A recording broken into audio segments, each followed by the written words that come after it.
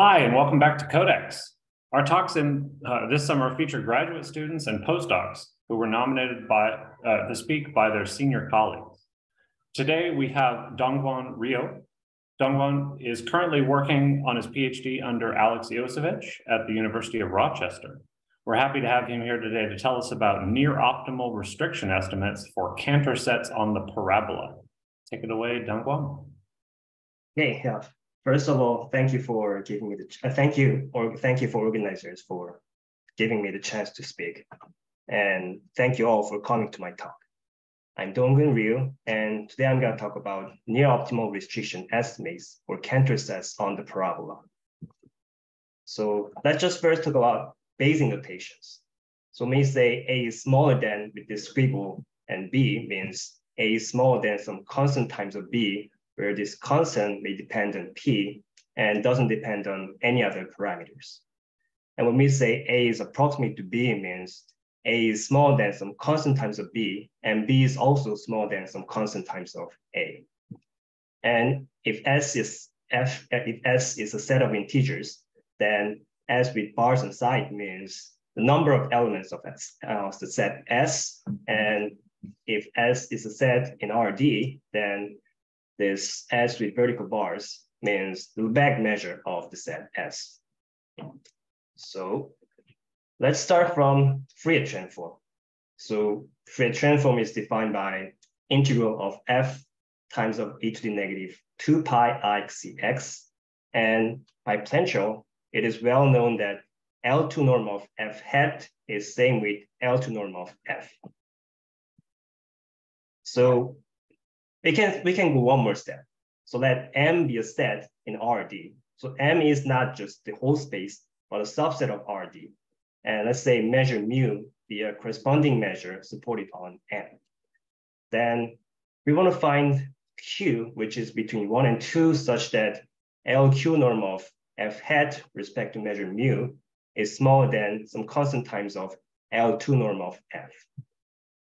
And by duality, this is equivalent to finding p greater than 2 or equal to 2, such that f, uh, f d mu hat, LP norm of f d mu hat is smaller than L2 norm of f respect to the measure mu, where 1 over p plus 1 over q is 1.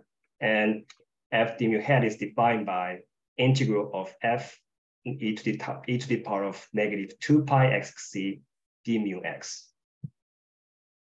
So in this sense, this is called restriction estimate because in the first equation, first inequality, we're integrating over the set M instead of RD. But because of duality, we will mainly focus on the second inequality. So this is one typical example for measure mu. So it could be a measure supported on D minus one dimensional paraboloid. So for example, this is also like useful in other fields. For example, a solution to Schrodinger equation is of this form. So Schrodinger equation is defined by 1 over i times of partial u over partial t equals to uh, Laplace of u, and initial data is f of x. Then u of xt, its solution is defined by f hat times of e to the negative 2 pi x c plus 4 pi square i t c squared. So when you look at c variable, it's c and c squared. In that sense, it's on the parabola or paraboloid. But this not this is not the main topic of this story. It's just to say that it has applications in other fields as well. So this is one of the most famous result in this area Uh, in, in this restriction estimate. So this is called Stein-Tomas restriction estimate. So let's say mu be a surface carried measure on d minus one dimensional paraboloid, which is defined by as follows. So like f integral of f d mu is f x prime x prime squared times of psi x prime, where psi is a compactly supported smooth function on r d minus one. So when we define the surface carried measure on paraboloid as follows, then for P greater than or equal to two D plus one over D minus one, LP norm of F d mu hat is smaller than L2 norm of F respect to the measure mu, and the range of P is sharp. So in the proof, uh, this observation played a key role. So Gaussian curvature of the probability is positive at any point, and that leads to the following Fourier decay. F d mu hat is smaller than c to the power of negative d minus one over two. And that was a very specific uh, model on parabola.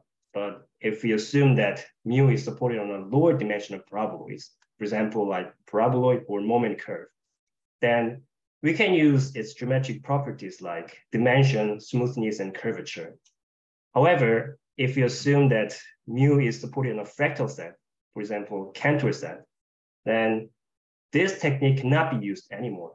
For example, curvature is not defined on, so when you think of a defining function of a Cantor set, we cannot think of concept like curvature on Cantor set. However, this theorem can still be used on fractal measures.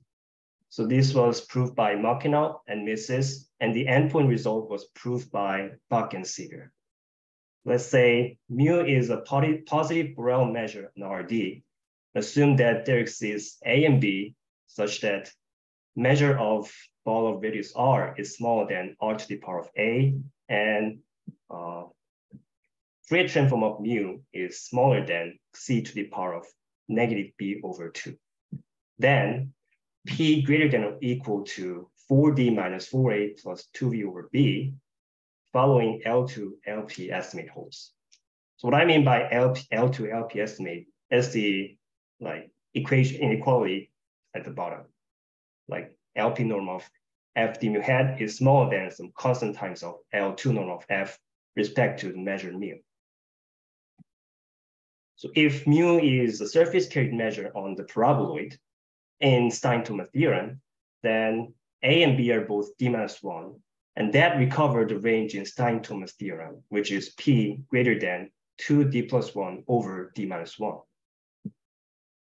However, if we fix A and B, then there could, may, there could exist many measures which satisfies first two conditions. In that sense, we can ask to, you can ask following two questions. Yeah, so let's say uh, the first condition is Ball condition, and the condition about F mu hat is Fourier decay, and the last one is L2 LP estimate. And the first question that we ask is, is there any measure whose range of P is sharp?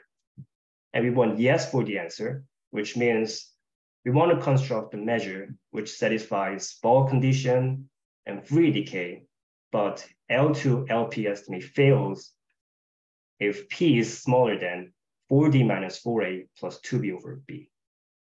And the second question is, for all measures, is the range of P sharp? And we want no for the answer, which means we want to construct a measure which satisfies Ball condition Fourier decay, but L to LP estimate still holds even when P is smaller than the same number.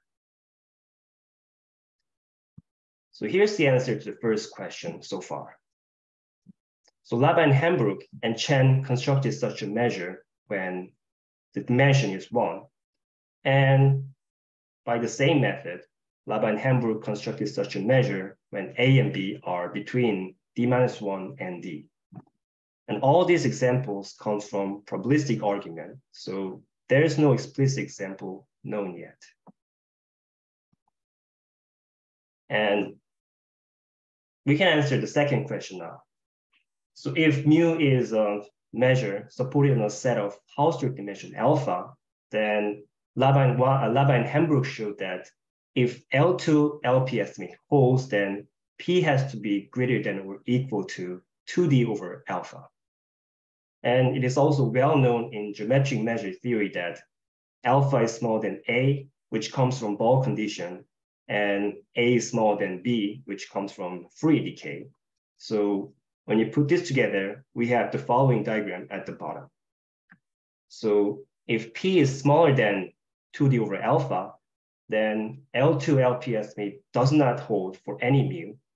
And if P is greater than or equal to 4D minus 4A plus 2V over B, then L2 LP estimate holds for any mu.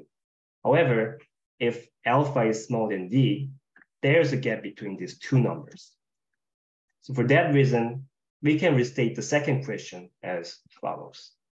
So we can ask if there's a measure mu supported on a Hausdorff dimension alpha such that L2 LP estimate holds when P is D 2D over alpha. So Chen and Seeger constructed such a measure when alpha is D over K and K is an even integer. And Shmerkin and Suomala constructed such an example in one dimension and when alpha is between zero and half. And lastly, Laba and Wang constructed such a measure in nearly optimal sense. So they constructed measure for all alpha and D, but their estimate holds when P is greater than or equal to 2D over alpha. So they're missing the endpoint. In that sense, their example is nearly optimal. And also all these examples were come from probabilistic argument, different probabilistic argument, by the way. So there's no explicit, explicit example known yet. Okay, so before we move on to next, do you have any question? Okay, if you don't have, then let's move on to next. So this is the direction that we will focus today. So what will happen if we consider fractal sets on the parabola? So the parabola has positive curvature at any point, and that lead to the following L2 LP estimate on for P in Stein-Thoma theorem. So there was the critical observation in Stein-Thoma theorem.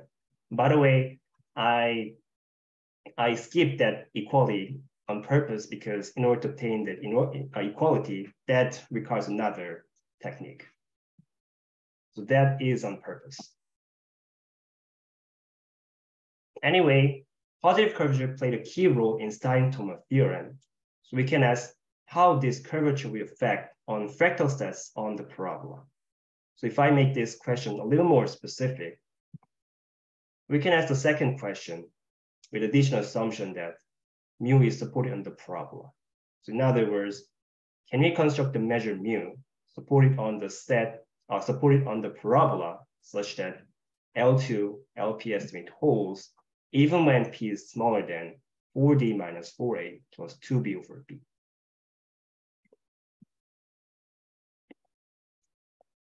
And also, if that's possible, then we can ask how small can P be? So if mu is just an RD, then that was 2D over alpha. 2D over alpha was the smallest possible LP, where which L2 LP estimate is possible. But with that additional assumption that mu is on parabola, we can ask the same question and see what happens to the lowest pos the smallest possible. So natural uh, direction that we can think of is maybe we can try Laba and Wang's construction in our situation. However, it's not as easy as it sounds. So in Laba and Wang's argument, they considered a random Cantor set. So this is an example on how to construct a random Cantor set. First, we can divide this unit cube into nine pieces and randomly choose four out of nine. And for each chosen cube, we can divide this into nine pieces again, and then choose nine out of four independently in the sub cubes. And we can repeat on and on. So this is one example of how to construct random Cantor set. And yeah, I'll talk more about how to construct this random Cantor set later, but this is just rough sketch about how to construct this. And if we repeat this, then this random Cantor set can be covered by cubes of site 1 over r. And its Fourier transform is essentially supported by, so when you think of 1 over r cube, and when you take Fourier transform of it, then uh, its Fourier transform is essentially supported on the cube of site r centered at the origin. We can try the same thing on the Cantor set on the problem. So first, we can construct the Cantor set on the unit interval. So this is at the bottom. And we can think of a, a subset of a parabola which is above this random Cantor set. So this will be our random Cantor set on the parabola. Then, because, since this uh, this parabola is curved, if, since it has positive curvature, uh, if we say this interval as interval is of length 1 over r to the power of half, then subset above this parabola, they are rectangles of size 1 over 1 over r to the power of half and 1 over r. So this, yeah, so this is not a this is not a interval anymore. This is rectangles. These are rectangles of same like this and this size. So when you take one rectangle from that, and then when you take Fourier transform of it, then so f sub i is supported on r to the power of negative half times r to the power of negative one rectangle, and its Fourier transform is essentially supported on r to the power of half times of r rectangle. And the long side of this large rectangle is same with the, the direction of this long side of this rectangle is same with the short side of this small rectangle. And by the way, what I mean by essentially supported means its support could be, may not be this rectangle, but outside of this rectangle, fi hat decays fast outside of this rectangle. In that sense, I'm saying that f sub i hat is essentially supported on this rectangle. So when you gather all these large rectangles, then we have the following picture. So they all, they are all, so when you look at the subset of a parabola, the small rectangles, direction of the small, uh, uh, when you look at these rectangles, then direction of their short sides are all different. It depends on where they are on the parabola. For that reason, for each large rectangles, direction of their long sides are all different and they don't overlap. They overlap in a very small area at the center. So that is the main reason why we cannot directly use Laba and Wang's argument because each cube, one over R cube, are all essentially supported in this R cube. However, on the on rectangles on the parabola, they are not, and they overlap in a very small area.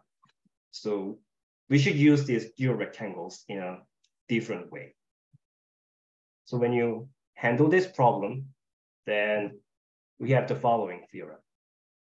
So for alpha between zero and one, we can construct a measure nu on the parabola, which satisfies the following. So first, support of the measure nu has Hausdorff dimension alpha. And second, it has ball condition. So if, if we ignore epsilon on the exponent, then the measure of the ball of radius r is smaller than r to the power of alpha. And if you also ignore epsilon, then well, Fourier decay, which is nu hat, is smaller than 1 plus c to the power of negative alpha over 2. And uh, lastly, which is the most important, for p greater than 6 over alpha, we have the estimate, we have L2 LP estimate for the measure nu. And p greater than 6 over alpha is sharp in the following sense. It's, yeah, it's near, near being sharp in the following sense, a little more precisely. So if alpha is between zero and d minus one, and assume that measure nu is a Borel probability measure supported on the paraboloid, it's d minus one dimensional paraboloid. And the support has Hausdorff dimension alpha. And we also assume that measure of the ball of radius r is smaller than r to the power of alpha minus epsilon. Then if the if the LQ LP estimate holds, then P has to be greater than or equal to D plus one Q prime over alpha, where one over Q plus 1 over q prime is 1. So in the previous slide, we considered when these 2 and q is 2. So when you plug in that numbers, then p has to be greater than 6 over alpha. So p has to be greater than 6 over alpha. And we have an example where this L2 LP estimate holds when p is greater than 6 over alpha. In that sense, this example is nearly optimal. So this answers the question that we asked a few slides ago. So the question that we asked was, can we construct a measure supporting the parabola such that L2 LP estimate holds, even when P is smaller than the range from Mockenhaupt's theorem? The answer is possible, that is possible, and it can be as small as six over alpha. So when it comes to measures on R2, 4 over alpha was the smallest possible. But if we additionally assume that this measure is on the parabola, then 6 over alpha is the smallest possible instead of 4 over alpha. So in other words, it, like 4 over alpha uh, is raised to 6 over alpha because of the curvature. And also we have an example where p equals to 6 over alpha is nearly, um, we have an example for p equals to 6 over alpha exists in nearly optimal sense. Yeah. So these are main steps in the proof. And this is also almost same with Laban Wang's argument, but in detail, it's different because we use that dual rectangles in a different way. Okay, so it starts from lambda p set, and from lambda p set, we construct the Cantor set. And from this Cantor set, we find the coupling inequality, and then we construct local restriction estimate. And we have to prove Fourier decay independently. And with Fourier decay and combining Fourier decay and local restriction estimate, we arrived at global restriction estimate, which is the goal about, which is the goal in the last, in this slide, which is L2 LP estimate. So let's start from lambda p set.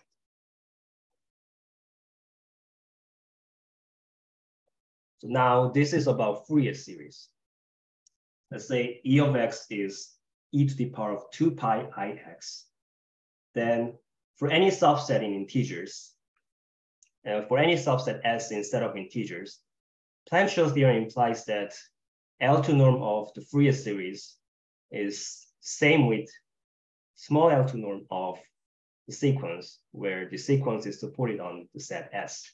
So this is true for any subset S, uh, any, sub, any set S, which is a subset of integers.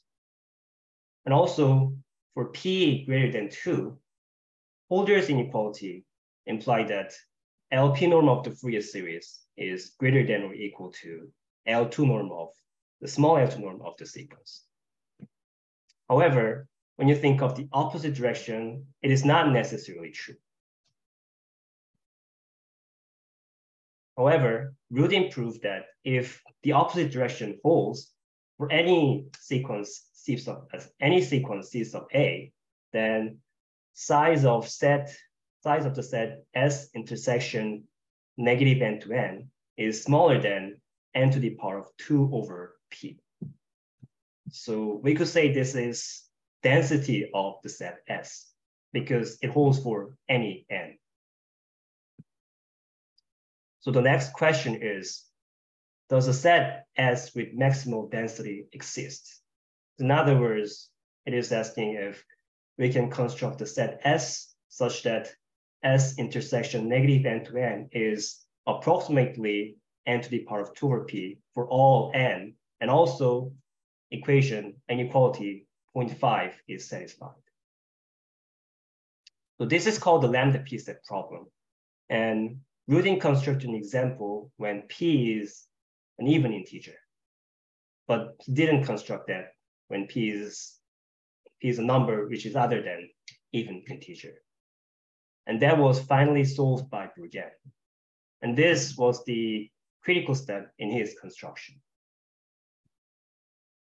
So P is greater than two, and we define, we already defined E of X. So for every N, there exists a set S such that its size is N to the power of two over P, and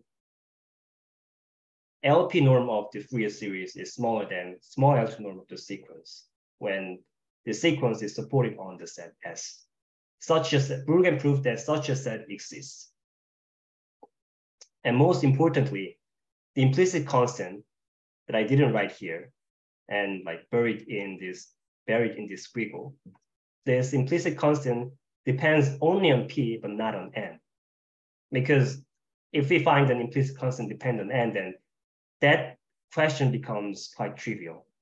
So this is non-trivial because this constant doesn't depend on n. And that was the critical step in his construction.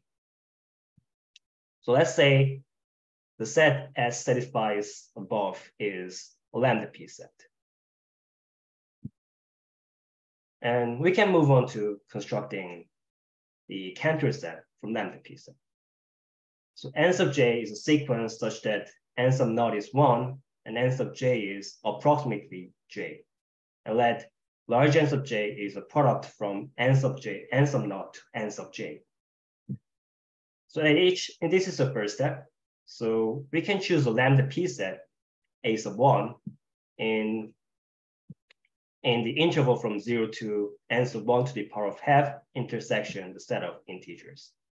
And we can scale it into a unit interval, and that'll be e sub one.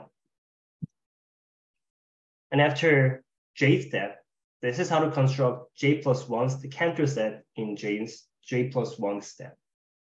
So for each chosen a sub j, a sub j, a sub j is a set of integers, a subset of a set of integers. So for each a in a sub j, we choose lambda p set, which is in the interval from zero to n sub j plus one to the power of half intersection the set of integers. And that'll be s sub j plus one comma a, and we shift it by n sub j to the power of half times of a. And that'll be a sub j plus a, and we gather all these a, a sub j plus a, then that'll be a sub j plus one and we can scale it down to unit interval, and that'll be j plus one step. So here's the like simple picture on how to construct that. So in this case, we divide unit interval into three pieces and choose two, which corresponds to the lambda p set. And for each chosen interval, we divide the first interval into four pieces. So there are we're considering in set of integers, we're considering from zero to three, and then choose lambda p set. And then scale it down to this chosen interval. And independently, in the second interval, we also choose lambda p set and scale it into this unit, uh, this sub interval. In the next step, we can uh, choose another lambda p set in each sub intervals and on and on. So this is how Lavagnol constructed a Cantor set on the unit interval by choosing lambda p set.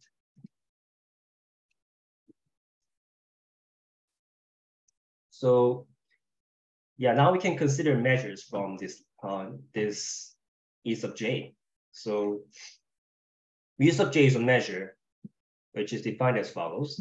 So intersection of uh, inter integral of f d mu j is integral of f one over time, uh, one over Lebesgue measure of E sub j times of characteristic function on E sub j. So this is a measure on the Cantor set or jth Cantor set E sub j. And with this mu sub j, we can construct nu sub j. So function f is on R2. And we will integrate f of x, x squared d mu j. So support of measure nu sub j is a subset of a parabola, which is above e sub j. So in this sense, measure nu sub j is supported on the subset of parabola. Okay, so by letting j to infinity, nu sub j and mu sub j converges weakly to measure mu, mu and nu respectively. And if you let p be 2 over alpha, then Hausdorff dimension of their supports are both alpha. So we construct a measure supported on the set of Hausdorff dimension alpha. And mu is on the unit, mu, mu is on the unit interval, and nu is on the parabola. And now we need to connect lambda p set and restriction estimate. So lambda p set is about Fourier series, and restriction estimate is about Fourier transform on RD. In this case, R2. So there we need something that we can connect this, and that is decoupling inequality. So let's first see how Laban argument, Laba and Wang's argument goes. So they considered P sub j of E sub j. So this is a partition of E sub j into intervals of length n sub j to the power of negative half. So for i, so this is the picture. So when you have E sub j, this is consists of intervals of length n sub j to the power of half. So I, this is parti this partition is a set of those intervals. And if I is in this partition, then f sub i hat is a restriction of f restrict uh, if, if this is a restriction of f on this interval i. And this sub p of e sub j is called small l to large e, large LP decoupling constant of EJ, or, or simply just decoupling constant of E sub j, which is defined by the following. So LP norm of summation of f sub i is smaller than d sub p of E sub j times of small L2 norm of large LP norm of f sub i. And d sub p of E sub j is the smallest constant such that this inequality holds. And what Laba and Wang showed was, since this E sub j was constructed from lambda p set, d sub 2 over alpha of E sub j is smaller than n sub j to the power of epsilon. And that lead to the local following local restriction estimate. So if f is a sub f is a f hat is supported on E sub j, then L2 over alpha norm of f on the ball of radius n sub j to the power of half is smaller than the coupling constant of the coupling constant d sub 2 over alpha of e sub j times of L2 norm of f respect to the measure mu sub j. And that lead to the following restriction estimate for measure mu. So this is called the restrict, local restriction estimate because we're integrating over the ball of radius r, not the whole space R2. And also the constant in front of this L2 norm depends on this values of this bar. So if we extend R to infinity, then R to the power of epsilon will diverge to infinity. So when you integrate over the ball, when you integrate over the whole R2, then this will not be bounded. But at least we integrate over the ball, then we have the following estimate. In that sense, it's called local. So let's go back to our situation. Similarly, we can also define corresponding decoupling constant as well. So now, is, now we define omega sub i. The omega sub i is a rectangle of size n sub j to the power of negative half and n sub j to the power of negative one, which is a subset of a parabola and above i. And we also say f sub omega sub f sub omega sub i hat is a restriction of f, like it's just f hat times of characteristic function on omega sub i. And we can also define decoupling constant as follows. This is the same way decoupling constant on for the Cantor set, but it just we're considering the different region. So let's say this decoupling constant is d sub p of p sub j, which is the smallest constant such that LP norm of summation of f sub omega sub i is smaller than d sub p of p sub j times of small L2 norm of large LP norm of f sub omega sub i. Yeah, so there's a result, we can, there's a result as follows. So was proved by Chang, Dios Pont, Greenfeld, Jamneshan, Li, and Madrid.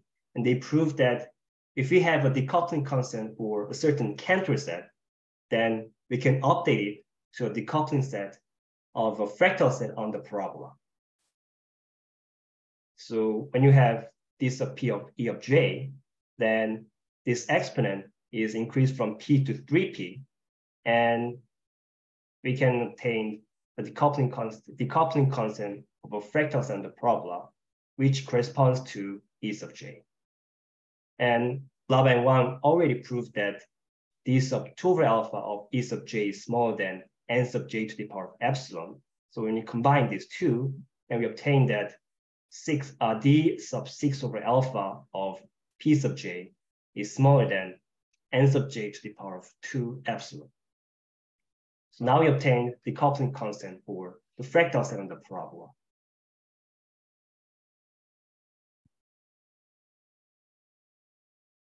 Now we had to local restriction estimate. So this is a lemma that we need to go to the local restriction estimate. So for L greater than 2j, assume that f hat is supported on the subset of the parabola above E sub L.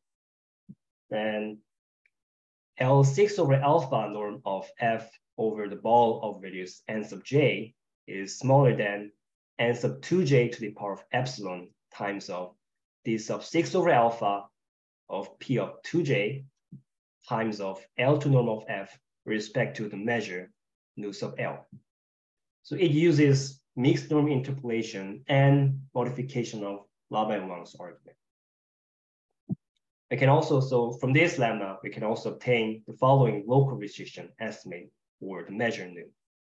The ball of L6 over alpha norm of f d mu hat over the ball of radius r is smaller than r to the power of epsilon times of L2 norm of the measure, uh, and L2 norm of the function f respect to measure nu. So we can compare what happened in Laba and Wang, Laba and Wang's version of restriction estimate and this version of restriction estimate. So First, we me see the L2, like first equation, which is about like nu sub j and uh, mu sub j and mu sub L. Then in the first equation, in Laba and Wang's version, they integrate over the ball of radius n sub j to the power of half, and they consider L2 over alpha norm.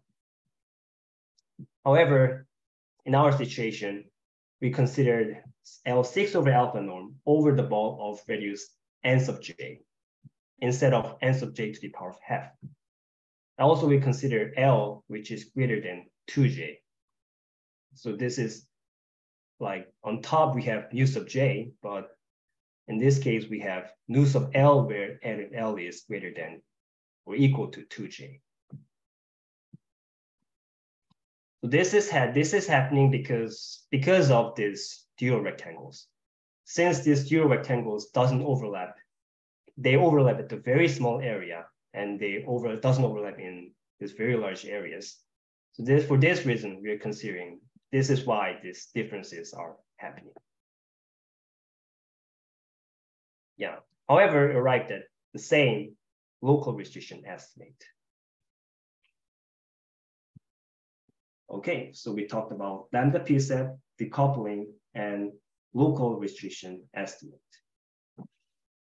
So yeah, before we talk about before we talk about Fourier decay, let's first talk about how Fourier decay will derive global restriction estimate. So we have the following local restriction estimate that we just proved before. And if there's a Fourier decay that uh, nu hat is smaller than one plus c to the power of negative b over two for some b greater than, for some positive b, then we can use Tao's epsilon removal argument with this local restriction estimate. Then we have global restriction estimate, which is LP norm of F d mu hat is smaller than L2 norm of F respect to the measure nu for P greater than six over alpha. This is why it is called global restriction estimate. A local restriction estimate, we integrate over the ball where our radius r. However, now we can integrate the whole region R2. And that's why we're missing the endpoint. If we send, so it uses local restriction estimate. So it cannot be better than local restriction estimate when P is exactly six over alpha. So when, when you're considering L6 over alpha norm and send R to infinity, then R to the power of epsilon converges, diverges to infinity. So we don't have L2 LP estimate when P is 6 over alpha. So we're losing 6 over alpha, but for P greater than 6 over alpha, we can still establish global restriction estimate. Okay, so now let's talk about Fourier decay. So when you're constructing the random, uh, when, you're, when you're constructing a Cantor set from lambda p set, there's, there was no random construction. There was no random structure. However, this is where this random structure comes into play. So we consider random translation. So the first sentence is similar to what happened in when you're constructing the Cantor set. So this is happening at J step. After J step, so for each A in A sub J, we choose lambda 2 over alpha set in, in the interval from 0 to n sub j plus 1 to the power of half intersection of set of integers. So this is same with what happened in constructing Cantor set. But after that, we consider a random variable, random variable v of ja. So probably that v of ja will be v is n sub j plus 1 to the power of half, which means that so v is a certain number from 0 to n sub j to the power of half. And for all v, for all v in this, for all numbers in this interval, they have fair chance of being chosen. All numbers have same chance of being chosen. And we'll just randomly choose, pick a number in this interval, and that'll be v of ja. After we choose a number, we shift we shift n sub s of j plus 1 comma a by v of ja, and then take mod, modular of n sub j plus 1 to the power of half.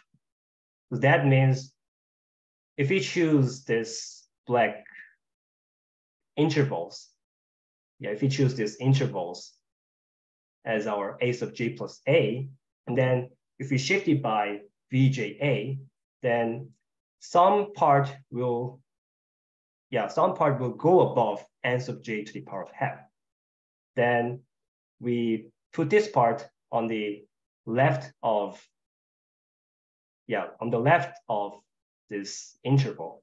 And then that'll be, that'll be the set after taking modular on s of j to the power of half. So this much, yeah, so after we putting the intervals on the right to the left, that'll be our s of j plus one comma a comma v which is the one after taking module. Then the rest step and, and the rest step is almost same. We shift this s of j plus one comma a comma v by n sub j to the power of n sub j to the power of half times of a, and then gather all these a sub j plus one a v, then that will be a sub j plus one. and we scale it down to unit interval, and that'll be E sub j. And the, the way we consider measure is also the same. And since now we will consider Fourier transform of each measures, Fourier transform of each measures are defined as follows. So Fourier transform of mu sub j is integral of e to the power of negative 2 pi x, 2 pi i x c uh, d mu x, d mu i, uh, d mu j, and uh, Fourier transform of nu sub j is an integral of e to the power of 2 pi i negative 2 pi i x c1 plus c2 c, uh, sorry, integral of e to the power of negative 2 pi i x c1 plus x squared c2 d mu j. So Shmerkin and Suomala, they proved that almost surely the following holds for the limit measure mu. So the Fourier decay of measure mu hat is smaller than c to the power of negative alpha over 2.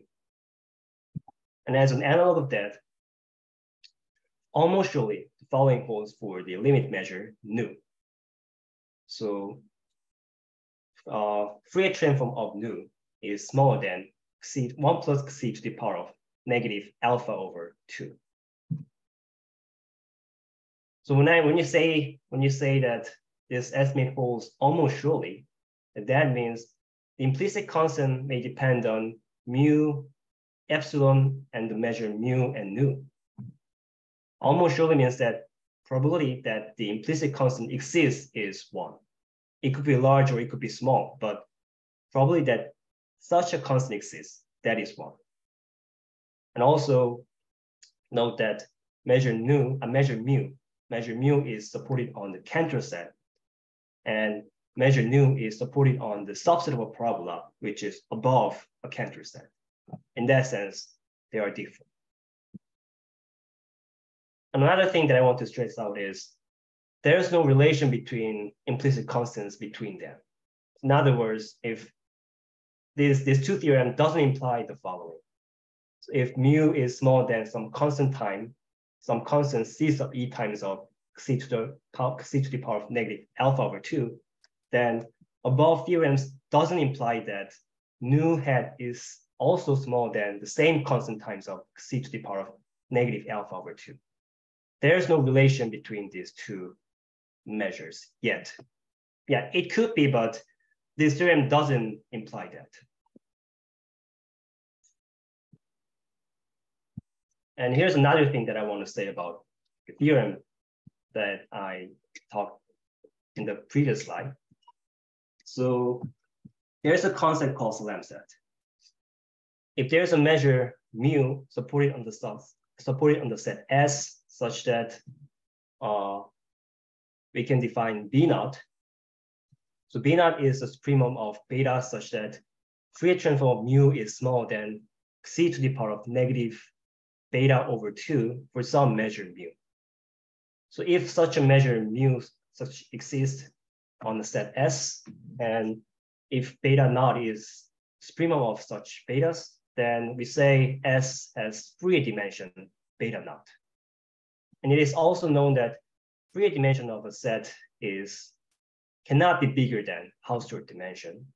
So if Fourier dimension and Hausdorff dimension are same, then we say the set S is a Salem set. For example, the paraboloid is a Salem set because Hausdorff dimension of the paraboloid is, is quite trivial, d minus one. And if mu is a, is a surface carried measure on the parabola that we talked in, the, in this talk earlier, then mu hat is smaller than c to the power of negative beta or beta uh, negative, uh, negative d minus one over two. So that means beta naught is d minus one. So they have, it has the same Fourier dimension with Hausdorff dimension. So this is a very typical example of a Salem set. So when you consider nu again, nu is supported on the set of Hausdorff dimension alpha. And we also proved that uh, nu hat is smaller than c to the power of negative alpha over 2. So that means support of the measure nu is a Salem set. And also it is supported on the subset of, it, it is supported on the parabola. And parabola is also Salem set. In that sense, this is interesting because uh, the support of measure nu is a Salem set in another Salem set. And also, in order to prove the global estimate, we just need a Fourier decay whose exponent is just positive. However, it turned out that nu hat has best decay, free, uh, best possible Fourier decay. Yeah, so the key idea is similar to Kaufman's result. So he used Hoeffding's inequality and Van der Corput lemma, but it proved only the existence in a different setting. So this is a very yeah, rough sketch of the proof. So we can divide the size of C into three cases.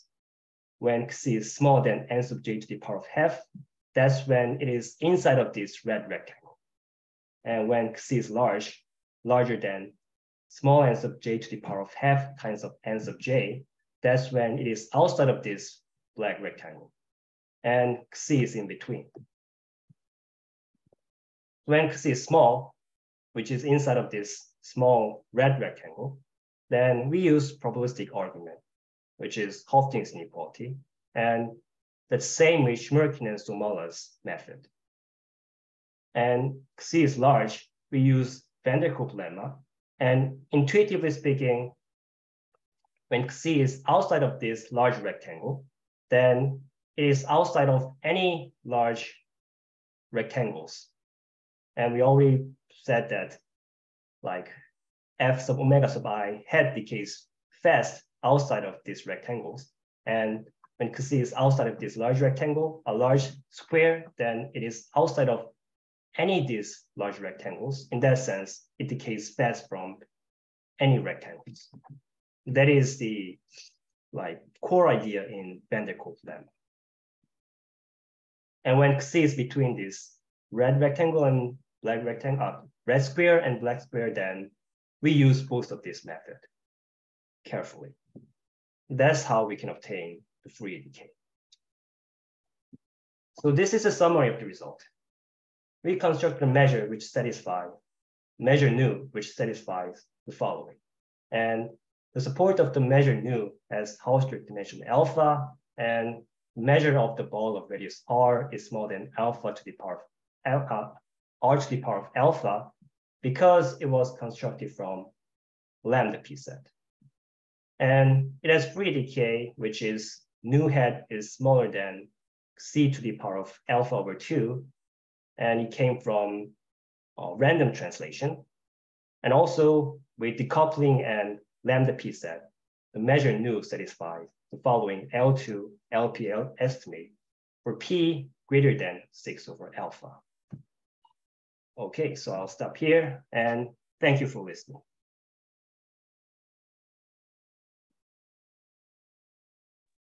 Okay, let's thank our speaker by clicking buttons. I also thank you by saying words. Thanks. Um, and we'll stop the recording.